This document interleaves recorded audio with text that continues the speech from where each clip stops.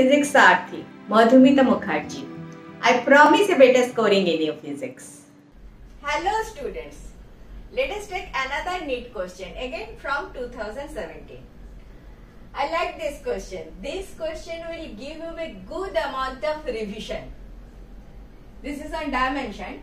So, a physical quantity of dimension of length L that can be formed out and E square upon 4 pi epsilon naught where C is velocity of light, G is universal constant of gravitation and E is charge. To solve this question, you need to know the dimension of this, this, this and you need to apply the knowledge of Newton's gravitational law and Coulomb's electrostatic law. Let us try. C. What is the dimension of C? C is velocity, velocity of light, velocity. So, L upper, L T minus 1. This is the dimension of C. Then what is the dimension of G? We will use Newton's law of gravitation. F equal to G m1 m2 upon r square. You know this. So G equal to f r square divided by m1 m2. G equal to f r square by m1 m2. Now you need to know the dimension of G. What is the dimension of force? I need to write somewhere force, dimension of force. Force is m into a, mass into acceleration. That is also from Newton's second law of motion. Mass into acceleration. Mass for acceleration the dimension is t minus 2. mlt minus 2 is the dimension of force. Clear? So I will have mlt minus 2 for f. For r square I have l square. For m1, m2 I have m. Clear? So what I will have? m square m, m square m, m minus 1, l cube, t minus 2 as dimension of g.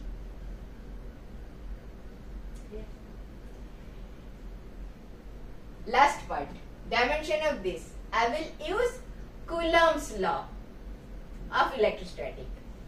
What is that? Again they talk about force. This is also force, that is also force. Force between two charges Q1 and Q2 when they are separated by a distance R is what? This, this force is force between two masses M1 and M2 separated by a distance R. Clear? That is the force between, this is the force between two masses. Now I have two charges Q1 and Q2 separated by distance uh, R. I will have some constant. That is 1 upon 4 up pi epsilon naught. And then q1 q2 divided by r square. Q1 and q2 are my two charges. Over here they have given e. E is your charge.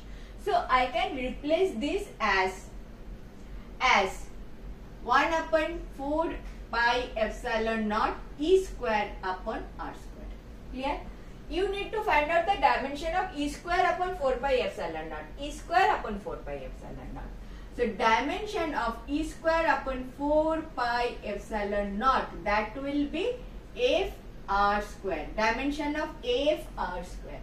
What is the dimension of f? This. Okay. So m m l t minus 2 and for r square I will have l 2. So ultimately I will have m l cube t minus 2 clear? Clear? This is my 1 this is my 2 this is my 3 or 1 2 3 these three dimensions i needed to find out. I found out. I found out so now my challenge is by doing some multiplication division I need to figure out the dimension of length that is L. I need to find out L. Now just see the options.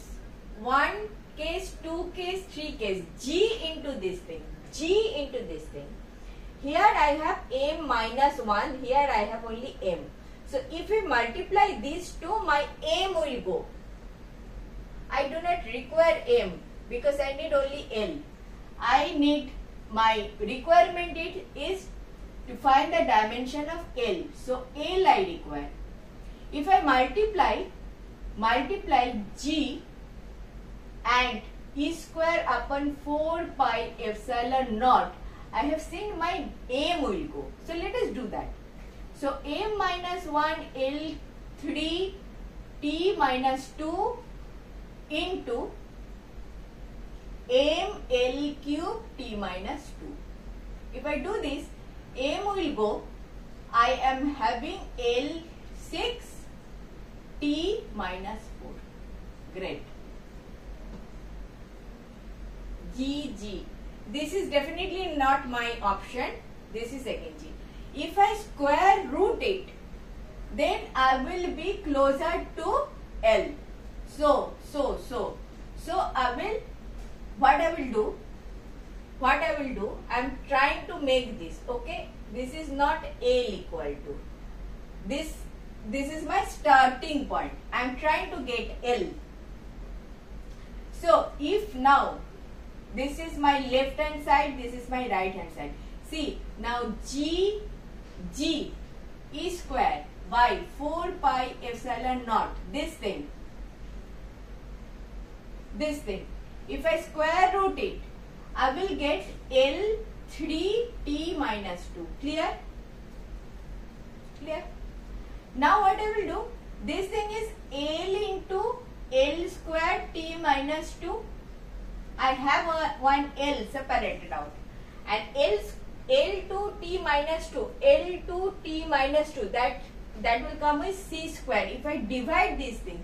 So if I make it 1 upon C square 1 upon c square g e square upon 4 up pi epsilon naught I will get L uh, L L square t minus 2 divided by L square t minus 2 which gives me L only.